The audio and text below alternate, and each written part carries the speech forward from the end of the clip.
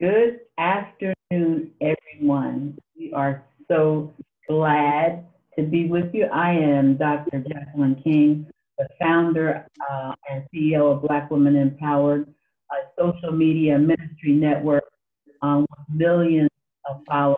But today, we have lovely Dr. Joyce Haddon, who is also the mother of Dietrich Haddon and Claretta Haddon and all of her beautiful children, all of her beautiful, talented children.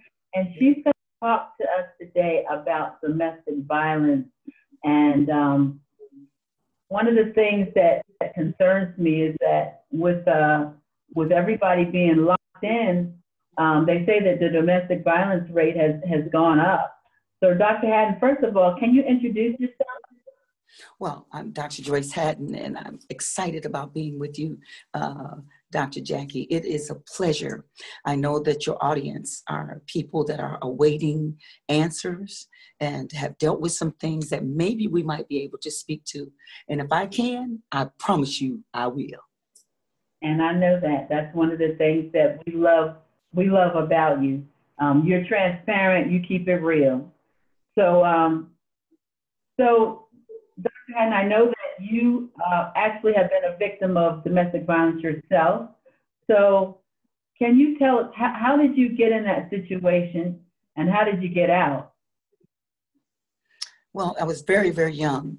And, you know, a lot of girls, young girls, fall in love with the wrong person. We don't check into who that person is, uh, you know, their background. Later on, I find out that there's uh, horrible issues in the family have been he had been abused and most time most of the time people that have been abused abuse others it's almost something that like uh, it, it, it, just happens. It's almost generational.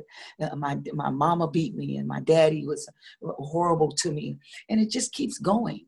So you know, I, I'm sure that's why Scripture tells us that we should you know, uh, be careful how we, you know, that we should connect with people that are the same like faith and, and desire the same kind of person. And then that's why mama said, leave that dodo, okay, alone.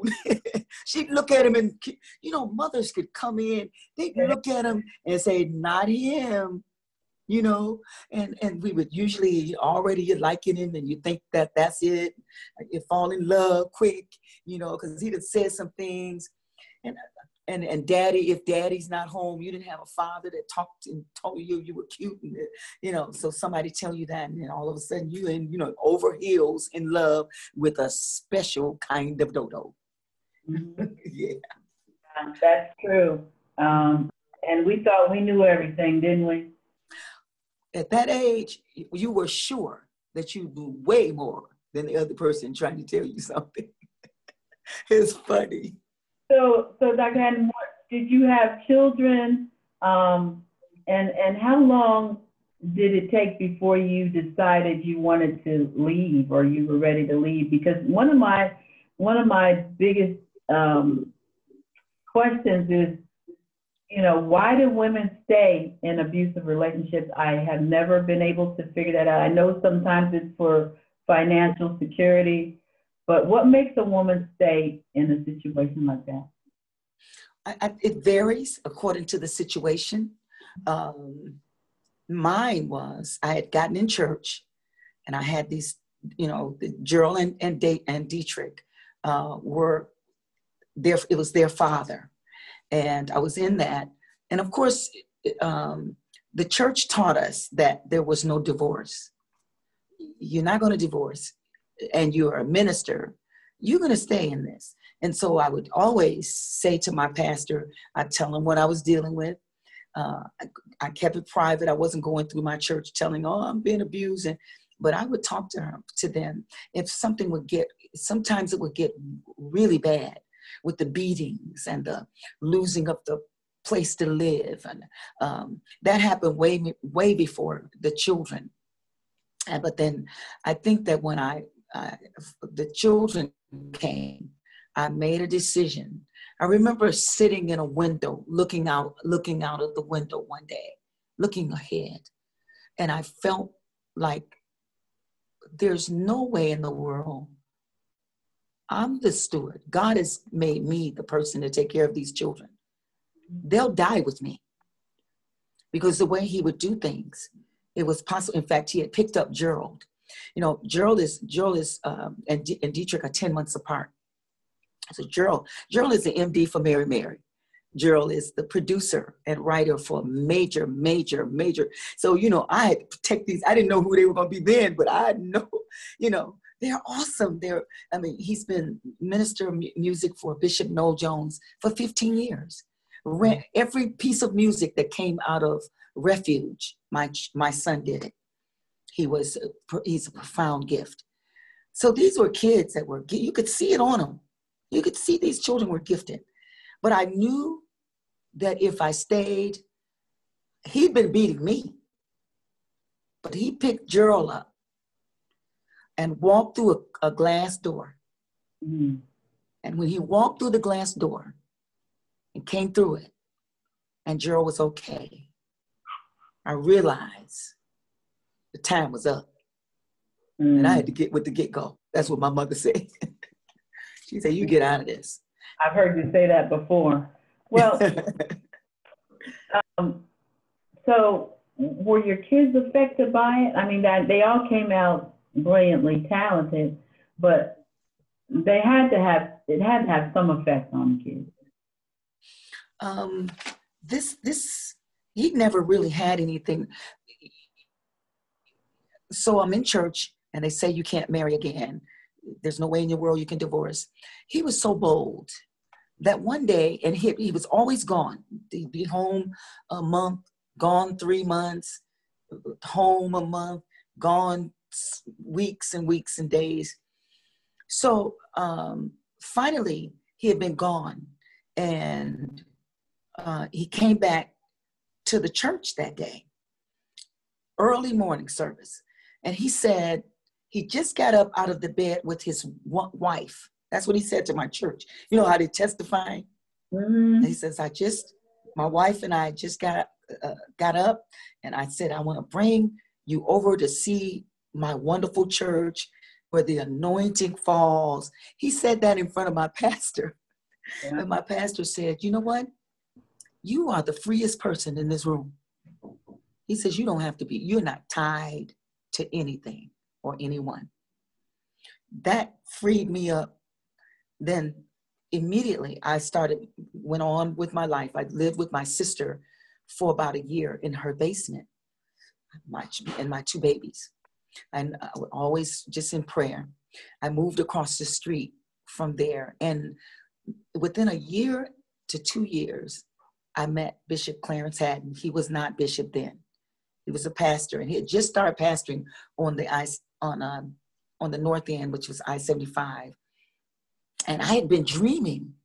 Listen to me. I had been dreaming of this person that looked like my husband. I would have visions. This is real. And I could I could see him. This man was gifted. This man could sing. This man could preach that I would see. I would see a man coming in my life, putting me in a house. I saw children. Mm-hmm. The house looked like it was a block long and a bunch of children in it. And I would, uh, um, this man and I would sit in the back of a limousine and I could see us driving through a city or driving through some big. And do you know that it wasn't, but it might have been two years I met him. I, when I met him, I saw the man I had been dreaming about and I knew he was my husband. He invited me to a service. I went, and within the, the second day, I recognized him and I knew he was my husband, but I wasn't about to say that. You know, I wasn't gonna say, "Oh, you're my husband, the man I've been seeing," but I knew it. I knew it without a shadow of doubt. And God blessed me with him. So Bishop Clarence Haddon has been in my life since my children were two and three. Dietrich was two, and Gerald was three. So, so how did you? I mean, how did you get out of away from this other man?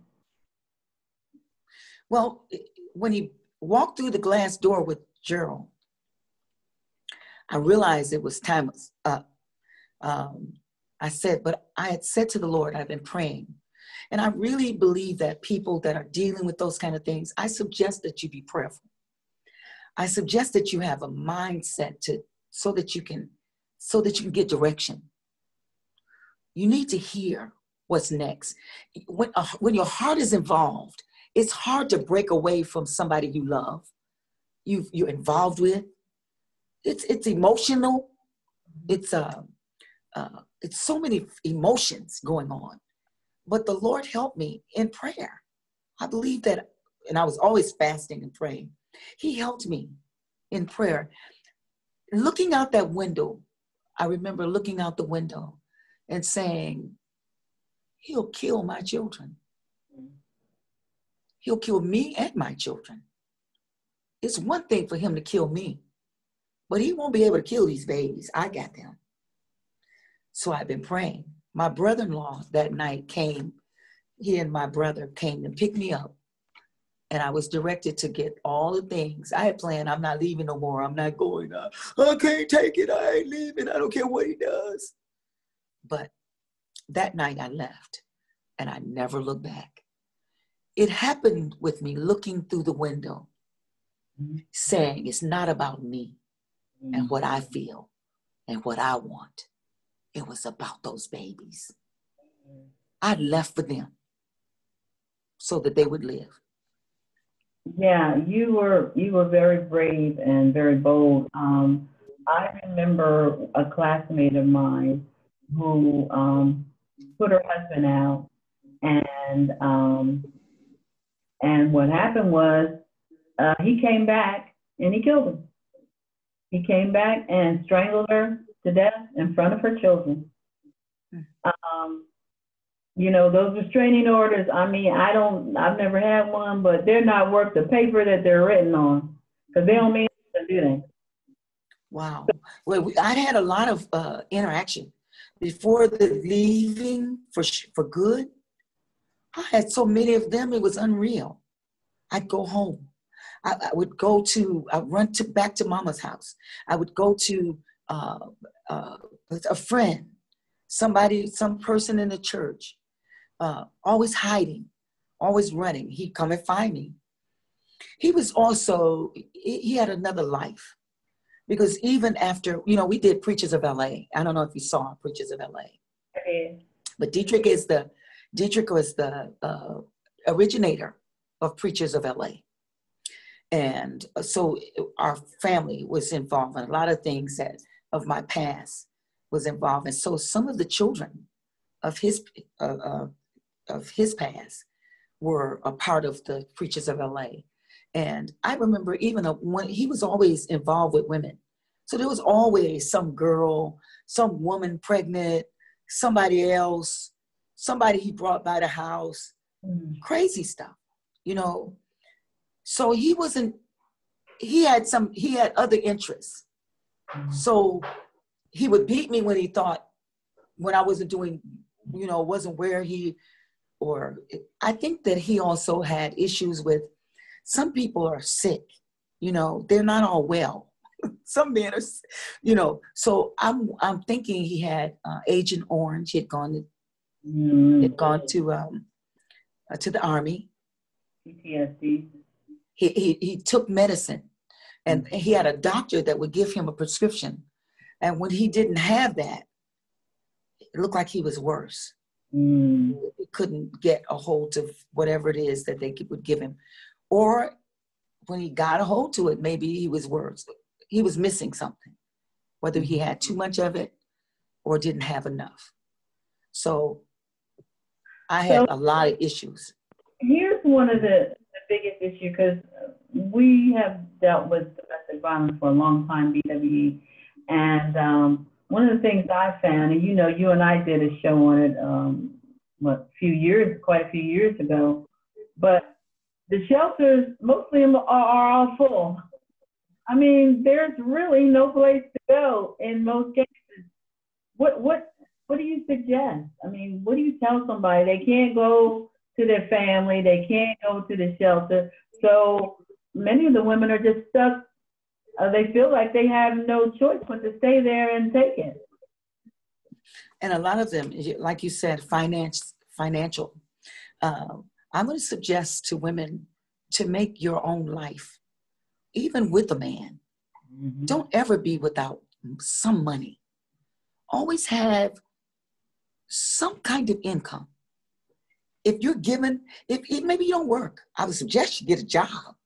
I, you know, waiting on a man to come and buy me something. Let me tell you something. I, I, I'm, I'm not. I don't. I'm not a boaster, but no, I don't wait for him to buy me a coat. I buy my own. I buy my own coat, my own. I want to be fabulous. I'm my own fabulous. You know what I'm saying? You didn't buy. I, bought my own car. I, you know what I'm saying? He could buy it if, it, and thank you, honey. And I appreciate it because my husband's really good to me. But don't ever be stuck where you're waiting on somebody to do something, but to give you some kind of allowance. And if you get him allowance, hide half of it. Put it somewhere. So if you ever have to run, leave. It's some kind of spirits on people that make them controlling demon or something that'll sure. abuse you. It's wonderful to have a good man. But then at the, you know, that then they're always, it's something, what triggers? What would ever trigger? God bless the child that has her. That's what I say. And let me tell you something, probably the worst and more abused people are church in church. Because we put everything on God. What is we, we need to stay for God. We need to stay for the spirit realm. We mm. need to stay to be spiritual. God don't want. And I think that we put too much on somebody's lying on God. Because God didn't mean for that girl to be killed. She God don't want me to leave. But she died doing God's will. Come on. Yeah. No, I don't believe that some of these things mm-hmm are to be put on God. God, God loves you. And, and you must have uh, self-esteem. You should, you should know who you are and, and how much you're loved, you're blessed, and how favored you are, and how you're fearfully and wonderfully made. You know, you just you're you're awesome. I did a book on uh, the priceless woman. I did it on purpose. You're valuable. You're so. In fact, uh, that, that, that king comes and stands on the border of his of his uh, castle or his place and looks over and he's dealing and he's dealt with all kind of women every kind of woman that you could deal with. He done dealt with them all. He says who can find a virtuous woman? For her price is above rubies. You're a bad sister. If you are, I if you've got God and got yourself together, baby, hey, reach above your cut place, your wound, your place, your pain. Reach above your place, your hurt, and know who you are and get past anything that's wounded you. I've decided, you know, I got to a place where I was like, if I get stabbed in the back, I'm going to massage it and say, oh, thank you. Keep it moving, baby. I, will, I refuse to die by the hand of the enemy. You know what I'm saying? And you make a yeah, you make a very valid point. Um, one thing that I can I, I can thank my late mother for was instilling in me independence. Um, it is it's it's you know it's good to have a good man um you know that's oh, got your taking care of you and all that but i love it i i saw a show i believe it was dr phil where a woman she didn't even know how to write a check. He controlled everything. That's a bad place to be. When he left she didn't know she how to do anything. She didn't know how to pay a bill she didn't know, she how to do anything. That's a bad place to be. or if he dies, if he died, mm-hmm. you know, he could die. Uh, and then you know nothing. Uh, one of the worst things is to be to be subject and have no clue about who you are and now what you're going to do in life. You should you should be fulfilled. There are so many unfulfilled people waiting for somebody to fulfill them, to make them whole. You got to be whole. Uh, two halves. There's some split between the two halves. You need to be whole, and he need to be whole. And when you meet him, you come together as whole people. So vital. So you can be you can be so destroyed uh, depending on other people for your life.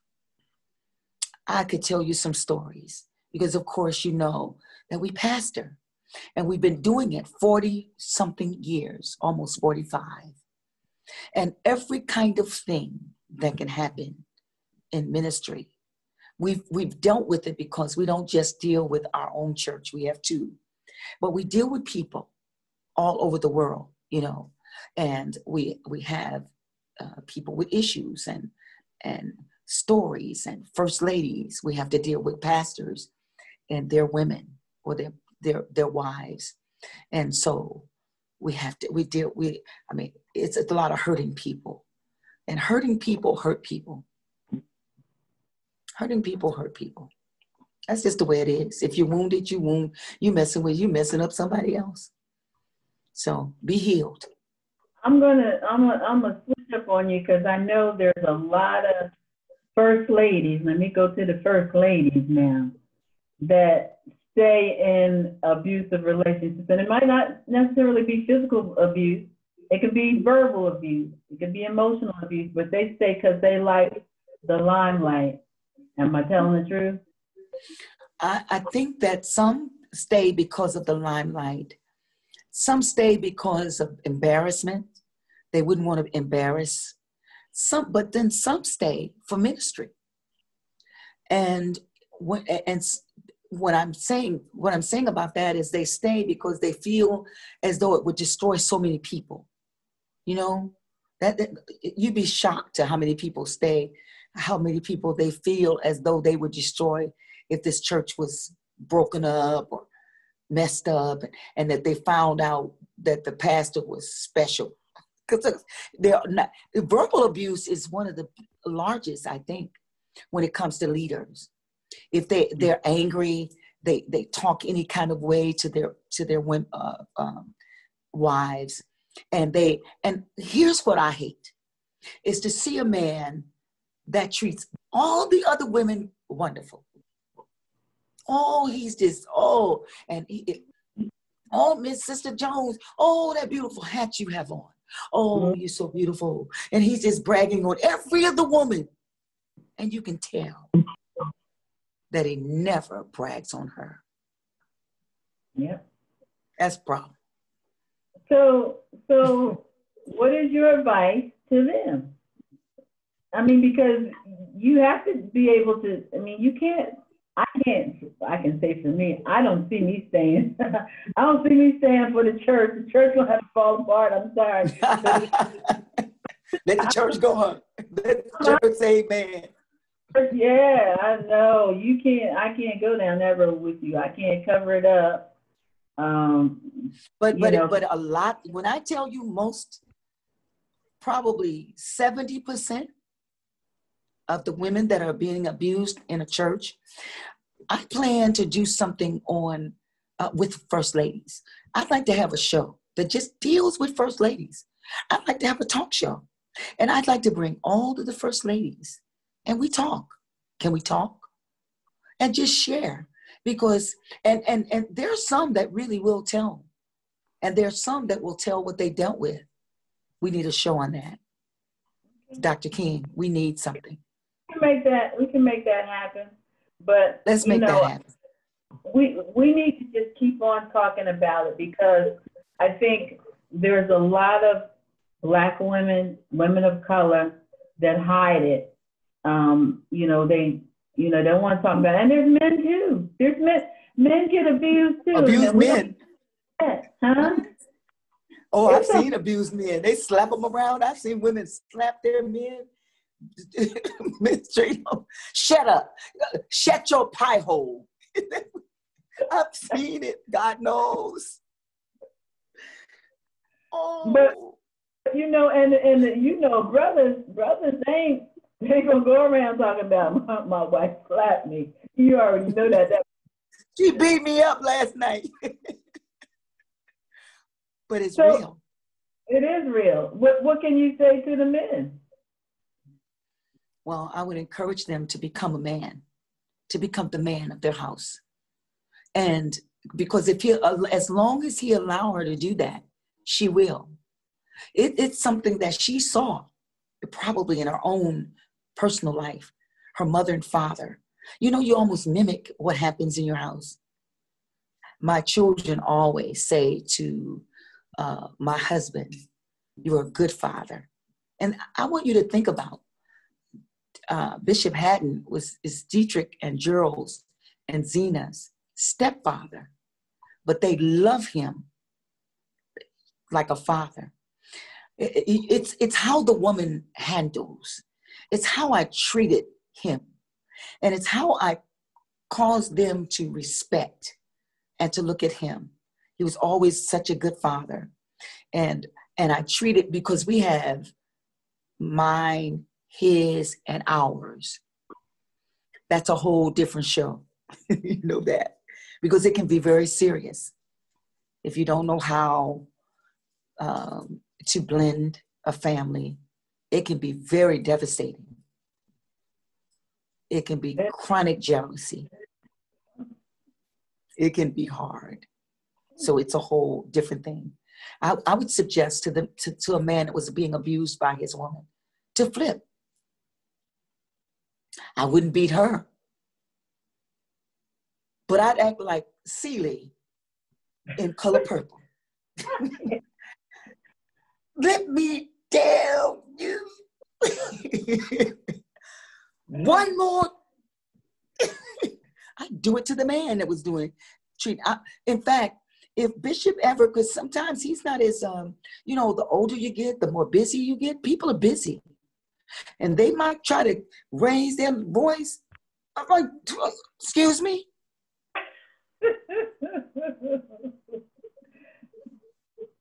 I will do that for you.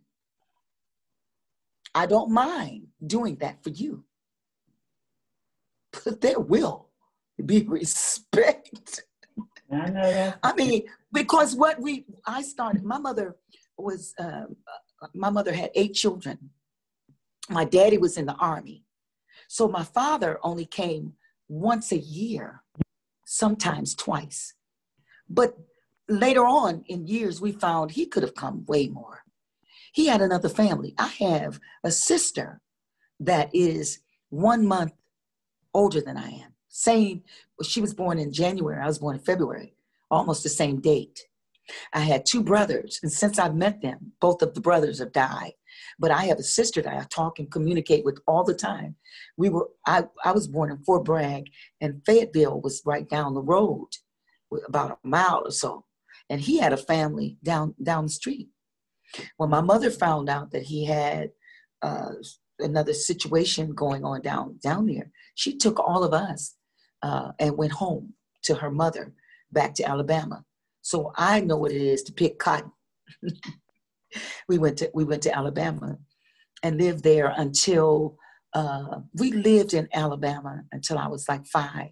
My oldest brother worked for uh, one of the sharecroppers or whoever you call those people, and it was a big cotton field. And my brothers and sisters worked there, and even myself, I did for a, a small time. We picked cotton.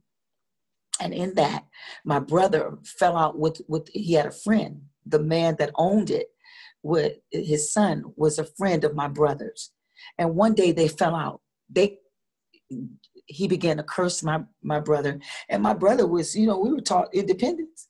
And and my brother called him he called him and what you call black people and he called him what you call eh, what you call the crackers. And so you won and you won too. And eh, and he says as long as my brother and my brother got his goat you know what you call him got him and made him mad he went home and told his father James called me a cracker. James called me, you know, uh, names. And so he came to my mother's house uh, that evening and said to my mother, James and John are friends, but James cannot call John a cracker and all these names. Well, mama said, James told me that John called him a nigger and John called him a black, a black one, and James called him this and that. So she says, and he says, well, it won't happen again. And you teach James that he is, he works for me. And they're friends, but he will not be calling John names. My mother said he will not be calling James John names because James won't be working for you. The next two days, my family, my mother's brother and, and sister in law, came to pick all of us up and we moved to Detroit. We moved to the east side. We're going, yes. So your father wasn't abusive. He just had other women. Other it's women. the same kind. He he acted like a he was a lover. My father was. Uh, he had charisma. Mm-hmm. My father was. He had something special that drew women, and oh my God! So until I was 16 years old, my mother expected my father to come home till she got a letter saying that he was getting married to a to an E5 my my stepmother, and he was moving to to Chicago, and uh, told my mother that he wouldn't he wasn't coming home, but he was getting married and moving on. I still loved my daddy, and we I, I visit my father until he died, but he so he wasn't abusive. He wasn't physically, but then I don't know what would you call the the allotment that comes once a month to a woman that has eight children the allotment is not all, it's like a kind of like what you would call, I don't know, it's a check. And every now and then he'd ask her for it, a part of it. To me, that was a kind of abuse. Well, I mean, having another another family. it, it, well, she, it, I'm, I'm sure. I, I just found that out five years ago. Mm. And when we found out, that he had another family. They found us. It wasn't somebody just finding us. You could see it. She looks, they look like my daddy spit them out. Mm-hmm. They were my father's children. Um, he had other children. He was in the army. They encouraged that. He had a child over in London, in Germany. but but um, you know, back on on on Bam. with domestic violence. Um, so gonna wrap it up in a, in a little bit, but I just want to encouragement to all these women who are stuck in the house with these men because of the quarantine or whatever reason, and um, they have to sit there and take it. Well, and it's really active right now, activated.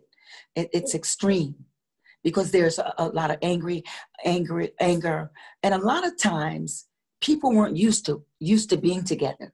They've been going to work, mm-hmm. and all of a sudden, they're home every day, and now you realize this person has a nasty way about them, mm-hmm. and it's ugly don't know how to talk to you, you don't like them. It's a lot of that going on. You didn't realize what kind of person it was because every day, all you have to do is cook for them. That you didn't know how they interact, even with the children. They're screaming now at the children. They're walking through, slamming doors. They go out now, come back when they get ready. And you weren't used to that. Now you see something. Now you see it. Now you don't. Look at what you see. I'm going to suggest that you open your eyes, recognize where you are, and do something about it. What I do is I, I was always a praying person. I believe God can do anything. But then you got to be wise. If it's dangerous, if you know you're in danger, do some. Don't you wait. So I want to wait till he. Uh, well, when he hurt me, no. If you if he's saying I'll kill you, you better get yourself up. And let me tell you something. Get you a bag. And what you do, here's here's here's what you do. You do what I tell you. You get you a bag. You put your toothpaste and your all your stuff and you some overnight stuff. And you get mama said what I tell you my mama said. Get with the get go. you get out of there before it's too late. And then handle it from somewhere else. Sometimes the man is is is valuable, but he's got going through something too. Mm-hmm. But if you know he'll handle you and choke, he'll touch and build, then don't wait till he kill you. Go. I command you to go. I command strengthen you. Mm-hmm. I command you to be strong enough to get up and recognize that you are better than that, that you're fearfully and wonderfully made, and that God have chosen you for something special. And you got to live past this pandemic, and you got to live past the pandemic. Here's what I say, Doctor. Doctor, I said the pandemic and the pandemic. the pandemic is the is the demic that the devil is doing to try to destroy you. The demic is that virus. Mm-hmm. But the virus that has handled and mishandled you is dam- uh, is damic. Mm-hmm. It's not of God. We damn it in Jesus' name. And we say, get up and live and not die. You've been well, chosen I'm, to live. I'm going to ask you to close us out in prayer because I know you're a praying woman. Yes. And uh, we will have this available to all of our followers. It'll be on our YouTube channel and um, we'll have it load, uh, uploaded to Instagram and all of our sites. So they'll be able to watch it over and over again. Um, and they can see you every Tuesday on our platform at uh, seven, which is your time, and then talk about your um, your midnight drop. Oh, thank you so much for that, Dr. Jack. Um, every night, I've been doing it for almost three months, at, at from eleven until twelve. Uh, every single night, it's called Midnight Drop. We have some of the most profound, gifted. I've had doctors on. I've had preachers, prophets, evangelists, teachers, uh, God leads me to what will be will happen per week, and uh, so sometimes we're we're dealing in the area of healing, and sometimes we're dealing in the prophetic. Prophets, I bring on prophets, and basically every night people are prof- prophesying to or got a word from the Lord, or we're going in a different way. So it's it's a mixture of hearing from God. I'm so excited about it. Last night we had a, a young senator on. Um, uh, forgive me for uh, Sabrina. She's in, in uh, politics, but she was anointed and powerful, powerful woman of God that's dealing in the political arena and traveling saying, muzzle not the ox that treaded out the corn, that it's time to speak up and say it till you see it. I believe that you should open your mouth and say it till you see the manifestation. So the phone number, should I give it? Mm-hmm. Go ahead. Okay, 605 uh, 472 5300. And um, the code is 535199 pound. And tonight we have all the way up. We call him, he's a man of God. He's one of, he's a powerful young man that came from the street, is a, was a rapper, but God is using him now in a pro- very profound way, a preacher. And he is, his name is Levi. And at one time he was out there, but now God has blessed his life. It's going to be awesome. Yes. Well, thank you, um, Dr. Joyce, my, my queen. Um, you know I love you and I appreciate you. Yes.